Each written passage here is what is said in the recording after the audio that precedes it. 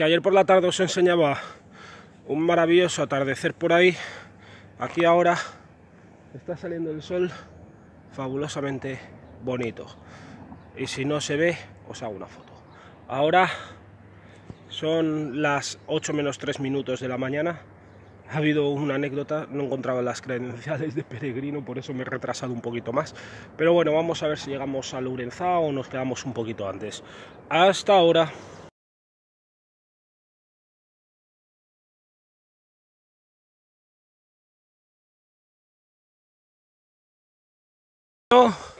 Ya hemos dejado atrás Ribadeo, un sitio que me ha enamorado, y no porque Sonia Castedo sea de ahí.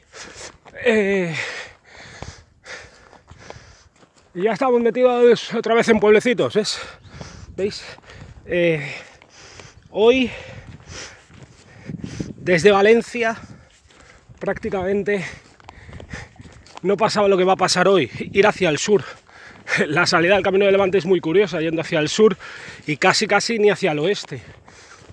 Entonces, hoy ya vamos seguimos hacia el oeste, pero hacia el sur también, para buscar Santiago de Compostela. Ahora ya los que aquí llaman mojones, donde te indica el camino en cada cruce, te va poniendo lo que queda. Si has hecho por ejemplo, en aquel cruce ponía, eh, por decir un ejemplo, eh, no, me he fijado porque si no me voy a volver loco, 187,50. Y en el siguiente a lo mejor te pone 186,8. Y dices, joder, macho. Bueno, vacas por ahí, no sé si las veis, puentes, zarzas, eso mucho. Mis piernas lo están notando. Una vía del tren.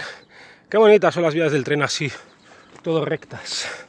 Bueno, eh, nada, vamos a seguir. No sé hoy dónde pararé. En teoría era en Lourensa o Lourensa o algo así. Pero ya veremos si no paro antes. Porque mi idea es llegar a Santiago el domingo 9 de septiembre, ¿vale? Vamos a ver si puedo calcularlo para llegar ese día. Hasta ahora.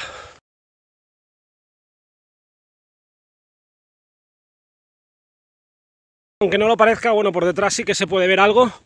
Estoy metido en un banco de niebla, no tan denso como aquel de Albacete, creo que era en Albacete, pero, pero estoy metido en un banco de niebla que, bueno, que se ve a 60-70 metros, pero no mucho más. Bueno, aquí podéis ver una imagen, ¿vale? No se ve nada, es todo como si hubiera una lona blanca, pero bueno, se ve, no es como aquel de espectacular, de, evidentemente.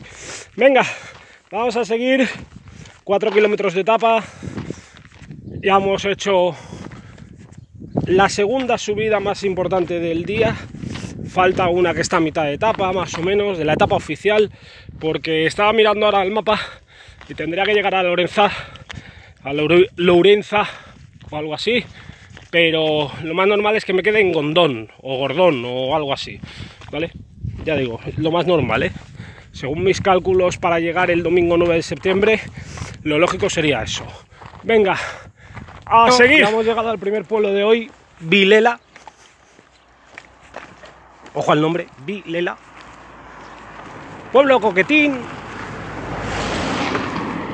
Más junto todo que, en Asturias. En Asturias de que los pueblos son larguísimos, vamos y a lo mejor son 40 casas, pero es que son larguísimos.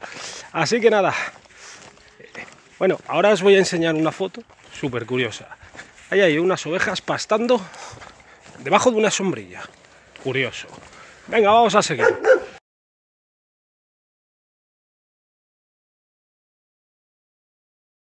Bueno, aquí estamos, kilómetro 11 de la etapa. Estamos subiendo una ladera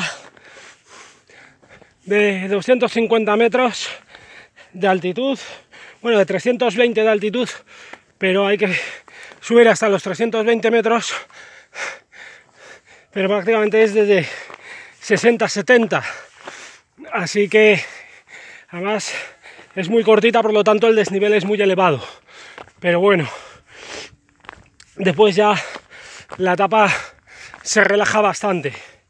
Así que Estaba pensando y es probable que al final llegue a Lourenza, ¿vale? Porque queda otra etapa de 40 kilómetros y esa sí que la partiré para lo que os decía antes, para llegar en domingo a Santiago. Santiago que quedan 177,119 kilómetros. 177 kilómetros, 119 metros. Bueno, ahora alguno menos. Venga, hasta ahora. Coronando esta ladera, este valle, esta montaña, este puerto, llamadlo como queráis, yo le voy a llamar cabronada.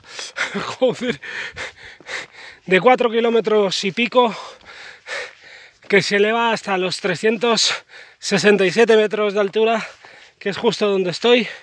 Así que os podéis imaginar que las rampas eran evidentemente considerables.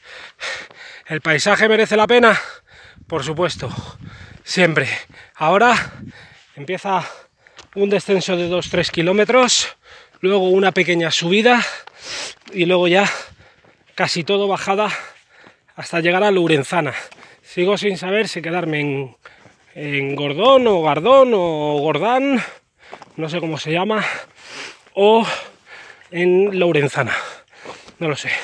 Para el sitio este, que no sé cómo se llama, me quedan unos 5 kilómetros, 4, y para Lourenzana 12, así que hay que decidirlo. Hasta ahora. Estamos en Villamartín pequeño, después pasaremos por Villamartín grande. Muchas gracias Villamartín por esta fuente. Qué bien viene el agua ahora. Ya estamos descendiendo nos queda eso de descenso, después una pequeña subidita y después mucho descenso y creo que voy a llegar a Lourenzana, ¿vale? Así que, venga, hasta ahora.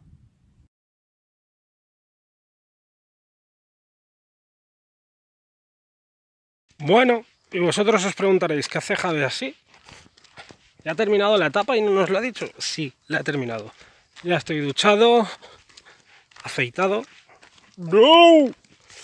Bueno, estoy ahora andando para comer. Sé que alguno no lo puede entender, ¿no? Pero va a decir, a ver. Si en San Justo había albergue y en Gondán hay albergue y en Gondán no hay bar ni restaurante y tienes que ir a San Justo a comer, la diferencia de albergue es tremenda en cuanto al precio y, y bueno, ¿para qué hablar? Eh, además, en Gondán estoy solo.